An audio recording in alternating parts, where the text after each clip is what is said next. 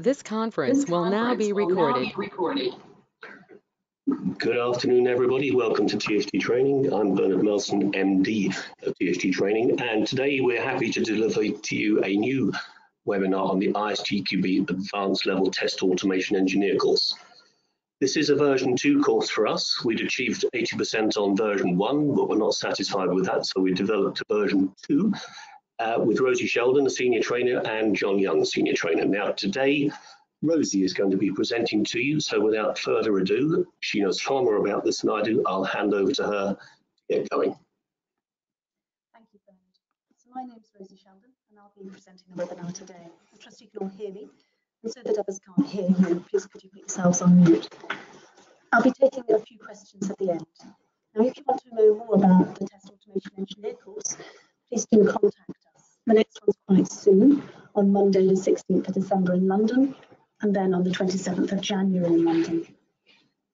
This webinar is being recorded and will go on our website tomorrow, tsg-training.org.uk. The Test Automation Engineer course is useful for a wide variety of people, both those who create and make decisions about test automation and those who automate the tests. I'll be giving you an overview of what the Test Automation Engineer course covers and then highlight various areas from the syllabus.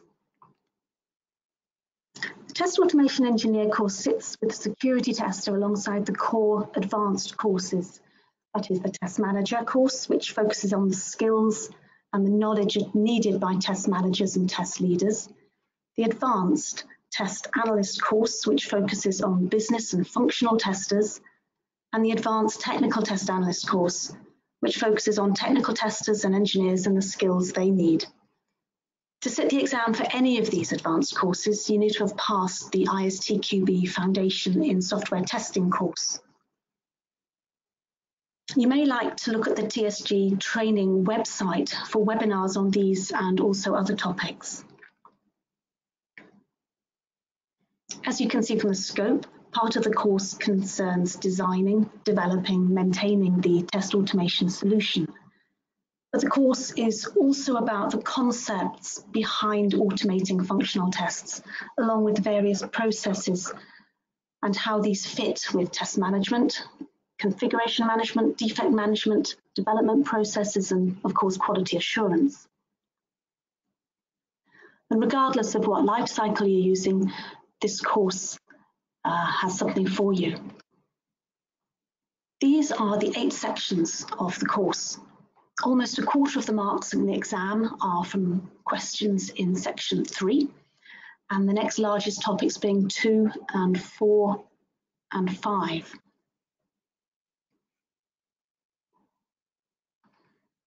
Test automation can bring a variety of benefits and can be used for different tasks, as you can see here. The course covers the thinking behind designing the testware so that it's created in a way that's both fit for purpose now and in the future. And the testware might be for implementing automated test cases, monitoring and controlling the execution of automated tests, or interpreting, reporting and logging the automated test results. And to achieve success in automation, you need to know what you're trying to achieve. And that's what I'm going to talk about next. Who is driving the introduction of automation? What are their objectives? Is it one of these or several? It's very important to know what the objectives are before embarking on automation. But it's also important to know what cannot be achieved, to be realistic to the stakeholders. Not all manual tests can or indeed should be automated, for instance. However, there are advantages to using automation. You may have heard or experienced some of these. Maybe these have driven your objectives. Certainly, the advantages are talked about and emphasised. The advantages associated with the tests tend to be focused on, but for example, good use of resource is also crucial. Incidentally, many of the course slides use mind map format like this to support learning.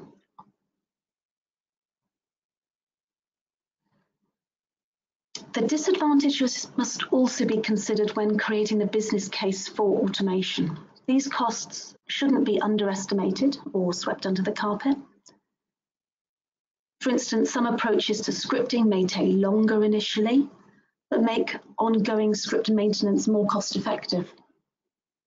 Any change needs to be carefully managed, and the team typically needs support and training. You can see here this slide refers to TAS maintenance. I've mentioned the test automation solution already, the TAS, and to quote the glossary, it's a realization or an implementation of the test automation architecture. It's a combination of components implementing a specific test automation assignment. And those components might include commercial off-the-shelf test tools, test automation frameworks, as well as test hardware.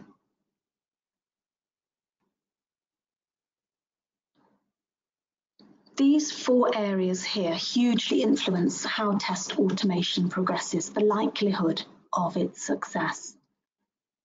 For instance, the test automation architecture needs to align to the SUT architecture and needs to be able to develop as the SUT develops. The TAA's maintainability, performance and learnability will affect its success. The SUT needs to be designed for testability. In case of API testing, this could mean more classes, modules, or the command line interface needing to be exposed as public so they can be tested. There needs to be an automation, a test automation strategy that considers, for instance, the costs, benefits and risks of applying automation to different parts of the SUT, e.g. old versus new code, um, new applications versus legacy systems, complex parts of the application versus straightforward areas. And then the test automation framework. This is a tool that provides an environment for test automation, usually a test harness and test libraries But it needs to be easy to use, well documented and attainable to support a consistent approach to automating tests. And once automation has started to be implemented, your organisation might ask you, when will we see some benefit? They'll want to know if its investment's paying off. Are the objectives of automation being achieved? And if not, when? And this brings us to metrics.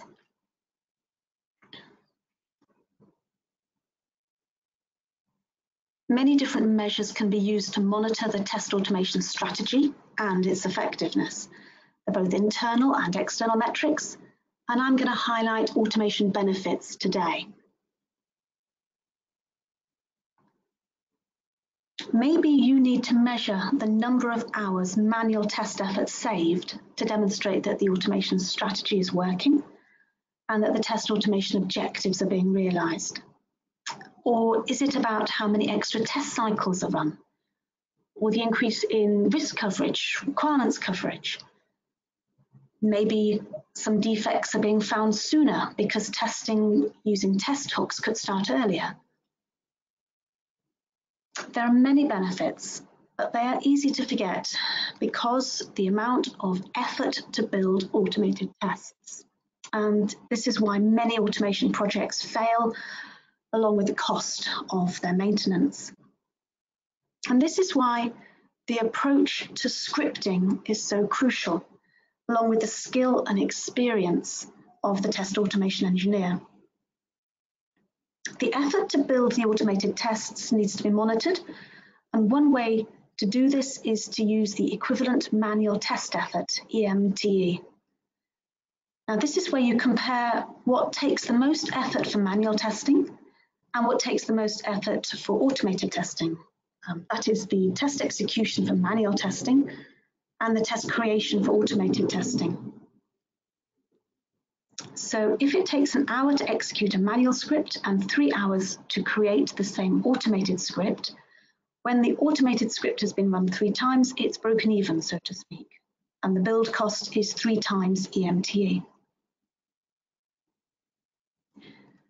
The EMTE, along with other metrics collected, can be reported on. The logs give detail, but the test execution report is more of a concise summary. This higher level of detail may suffice for some stakeholders, but others can still drill down to a greater level of detail if needed. But to report, you have to have something to report on. And how you get to that point, how do you transition from manual testing to an automated environment? This syllabus section addresses where might be the most appropriate place to start your automation of manual tests. I'm going to highlight three of the suitability criteria, the frequency of use and the maturity of the test process and the complexity to automate. It's easy just to focus on regression testing for automation, but why are those tests so beneficial to automate? Well, because more releases mean more regression testing and the larger the benefit of automating the tests. So the return on investment is higher and the risks are mitigated. So the key question is about how often a test needs to be run, its frequency of use. Another consideration is the maturity of the test process. Hopefully there's an established manual test process as adding test automation is going to add a development process into the mix. Effective manual testing following a structured, disciplined, repeatable process is good grounding for introducing automation. Otherwise, another layer is being added to a flaky setup.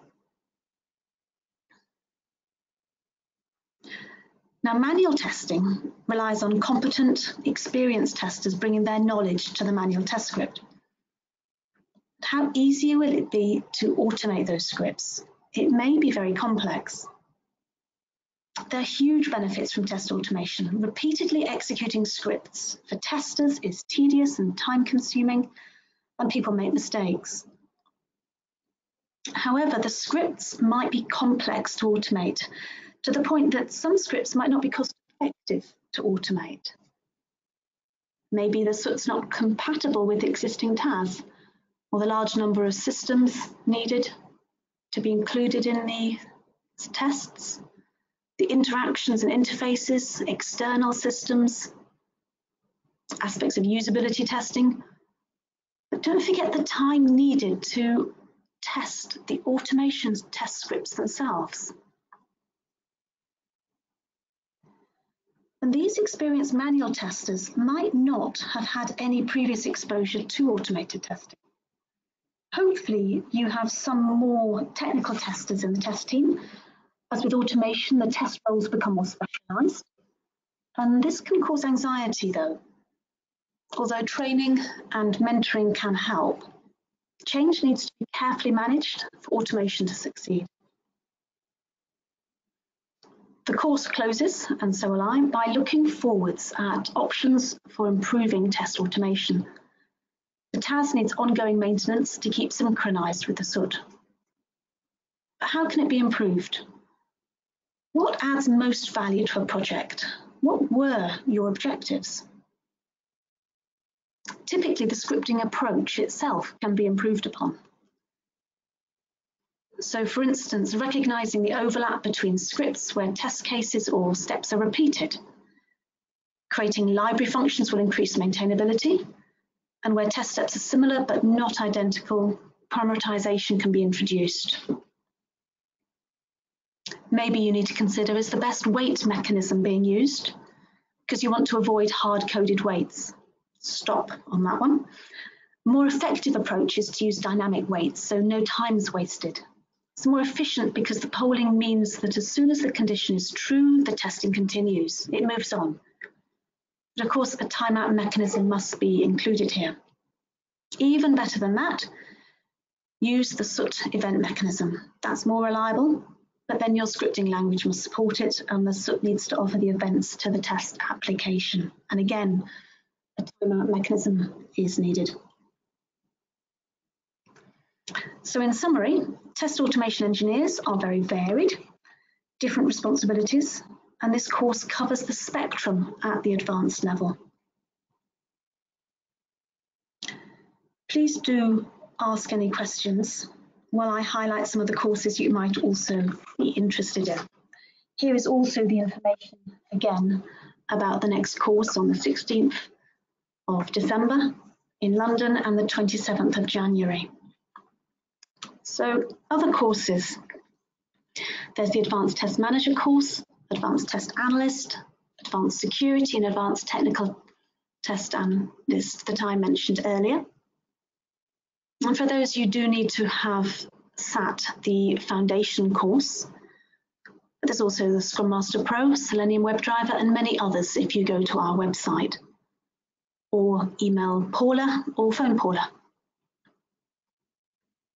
So back to questions. Thank you, Jason, for your question about open source and how many people use open source and what the drive is there. This is very much dependent on different organizations' approach to open source tools. Many very significant large organizations are very pro open source tools. Others though have decided they don't want to go down that road. They don't like that model. And I would always say, take an open mind. Have a look at commercial tools, open source tools, in addition to creating in-house tools to see what's the best option for the situation that you are in. Emma, thank you for your question about is there an introduction to automation course? The answer is yes as I've already said, you do need to sit the foundation course in order to do the test automation engineer course, the advanced course. But TSG also does a one day, very hands on introduction to automation course. And we look forward to welcoming you on that. And John, thank you for your question about automation and the return on investment. I touched on EMT earlier, but that's only one aspect of the return on investment. So I'm glad you brought this question up because it's a critical one and often it's included in the business case and people need to have confidence about when to start automating, where to start automating, and these questions need answers. So you need to consider how many scripts you've got and what their complexity is. You need to throw into the mix the frequency of the change of those scripts, but also for your applications, how stable are they? How long is it going to be before they're replaced? You need to remember how long it's going to take to develop the scripts.